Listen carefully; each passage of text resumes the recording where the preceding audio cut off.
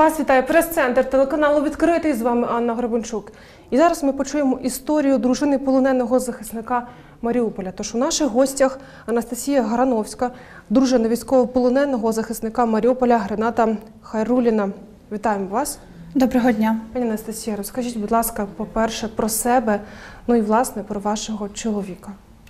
А, Мене звати Анастасія Грановська, я громадсько-політичний діяч за сумісництвом вже і депутат Новомосковської районної ради від політичної партії Європейська Солідарність. А, Також е, в 2020 році стала дружиною е, надзвичайної людини.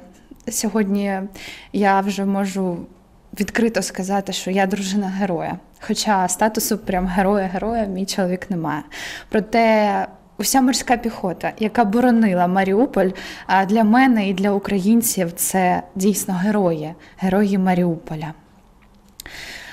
Мій чоловік це надзвичайна людина. Він добрий, він чесний, він з кінця 16-го року вирішив вступити до лав Збройних сил України спочатку у 25-ту окрему повітряно-десантну бригаду, така славетна бригада.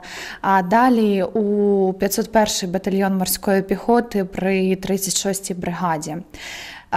Його ротація, крайня ротація це було селище Широкіне поблизу міста Маріуполя. Це вже була його п'ята ротація.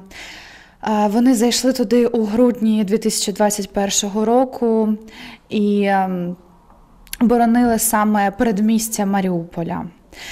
24 лютого чоловік мені зателефонував е, і сказав, що війна почалась. Я спочатку не повірила, але потім чутки, які почали, і телефон, який розривався від смс, він е, запевнив, скажімо так, от прямо остаточно вікна, які почали трястися. Я сама родом з невеличкого містечка на Дніпропетровщині Новомосковська. Чоловік у мене бердянець, але вже з новомосковською пропискою. Далі почалися найзапекліші дні в історії нашої родини. Це ті дні, коли чоловік майже не брав слухавку, телефонував дуже рідко. Це були вкрай маленькі діалоги, бо буквально ну, дві-три хвилинки. Він говорив, що хлопцям теж треба поговорити. Він телефонував 24 лютого, 28 лютого, 1 березня, і крайній раз, коли я чула його голос, це було саме 18 березня 2022 року. Тобто майже 11 місяців я не чую його голосу. І вже рік і два місяці я не бачила його, як власне наша маленька донечка, якій е, дуже скоро вже збудеться два рочки. Е, далі історія 1 березня ми з чоловіком поговорили по телефону. Я йому кажу, де ти? Розкажи, будь ласка, де ти? Він сказав, що не можна говорити, бо прослуховують і росіяни, і наше СБУ заборонено говорити. Я запитала, ти в місті, в якому ми одружилися, а ми одружилися саме в Маріуполі, коли в нього була четверта ротація в його житті. Він сказав, що так, він в місті, де ми одружилися. Я одразу ж зрозуміла, що там йдуть запеклі бої. По телевізору показували, що маріупольці топлять сніг, аби попити воду, що там. Там дійсно пекло. З 1 березня Маріуполь був у подвійному кільці, а місцями і у потрійному кільці. І е, бої запеклі е, йшли у 501-го батальйону саме до 4 квітня. А 4 квітня, в ніч 4 на 5 квітня, вони потрапили у полон.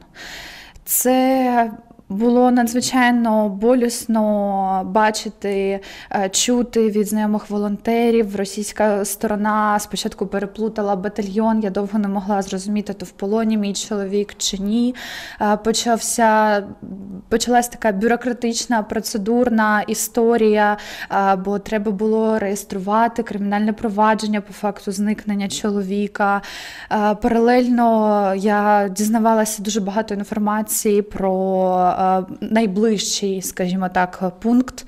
Е, Це я би сказала, Оленівка. Це такий це така колонія, там, де їх, е, якщо так можна сказати, сортують і розподіляють далі.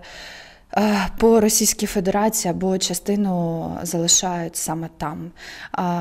Я знайшла відео на інтернет-ресурсах ворога, де мій чоловік разом зі своїми побратимами йде з піднятими руками по невідомому приватному сектору. Але видно, що все просто розбомблено, все зруйновано.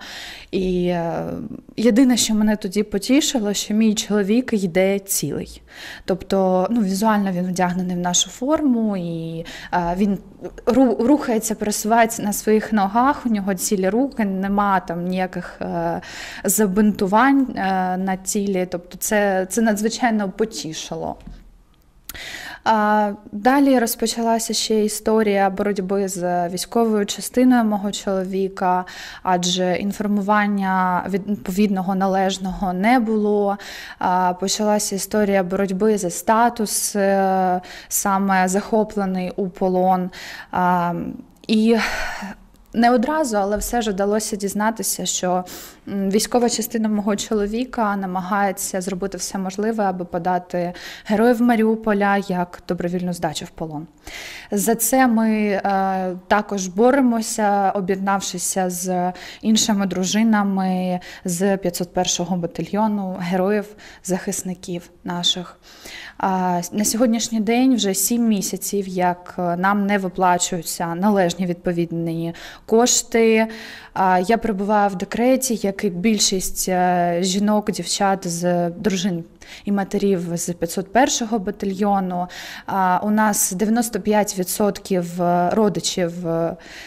Е, Військовополонених це ВПО. На щастя, я не належу до вимушено переселених осіб.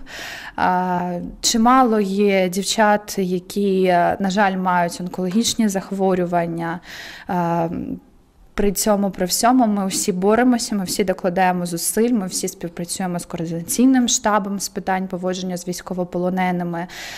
Ми намагаємося зробити все можливе і неможливе. І вже подано більше ніж 15 позовів до військової частини стосовно виплат.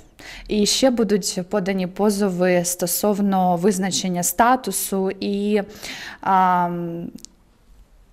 оплати податків. Адже військова частина за 22 рік не заплатила податки е, за військовослужбовців своїх, власне. Тому боротьба ще триває, і з одного боку намагаюся зробити все можливе і неможливе, аби обміняти свого чоловіка і допомогти іншим родичам військовополонених. Нещодавно я почала проводити консультації для родин зниклих безвісті, військовополонених. Лише об'єднавшись, ми можемо щось дійсно змінити і стати такою силою, яка допоможе нашим провладним органам, нашому головному управлінню розвідки зробити якомога швидше обміни. Від чоловіка я нещодавно отримала два листи. Це були листи, я б сказала, листи щастя. Бо він там пише, що він цілий, що відносно здоровий. Звісно, що я розумію, що частина з цих ну, е, частина тексту з цих листів вона а, написана під тиском. Проте те, що це його почерк, те, що він там а, ну, такі невеличкі моменти описав, які, по яким я можу дізнатися, що це дійсно він пише, і це вселяє віру, і вселяє надію, що він живий, і в нього, ну, як хіба як може бути добре, то добре. Чи допомагають вам з вам з юридичною правовою власне підтримкою, консультаціями? Ви знаєте, є така спілка адвокати ЗСУ. Через цю спілку я знайшла свого адвоката. То в цьому ключі ми також працюємо, бо е, у нас відкрите кримінальне провадження за перевищення повноважень командування військової частини е, 501-го батальйону морської піхоти. А саме командування, власне, як і мій чоловік, перебуває у полоні. Е, Також нещодавно мені вдалося з'ясувати місце знаходження свого чоловіка територіально. Я знаю, що він за 200 кілометрів від е, Москви. Я знаю відносно, що він цілий, що їх, е, на щастя, з кінця вересня перестали бити. Бо не так давно, це було літом, в наприкінці червня місяця, мені вдалося дізнатися, що вага мого чоловіка складає вже менше 40 кілограмів. О Боже, це ж катування. Ну, Однозначно. я коли дізналася, що його з кінця вересня не б'ють, це знаєте, це просто найкращий був подарунок і на день народження, і на Новий рік, і на всі свята для мене. Розуміння того, що він живий, і розуміння того, що його оточують його побратими. Що хоча б як може бути взагалі добре в тих умовах, то плюс-мінус все стабілізовується. Я бачила, що ви даєте інтерв'ю багатьом телеканалам. Ви ведете в інстаграмі активну сторінку, власне, інформуєте про свою історію і ви берете участь у всіх можливих мітингах. Наскільки для вас важливо це інформування і боротьба саме в інформаційному полі задля так того, аби вашого чоловіка і захисників Маріуполя як скоріше повернули додому? Ви знаєте, по-перше, я почала активно розповідати свою історію в своїх власних соцмережах через е, не зовсім зрозумілу для мене позицію військової частини. Було почуто ну, різних історій, і я вирішила це висвітлювати, аби вони розуміли, що ніхто це замовчувати не буде.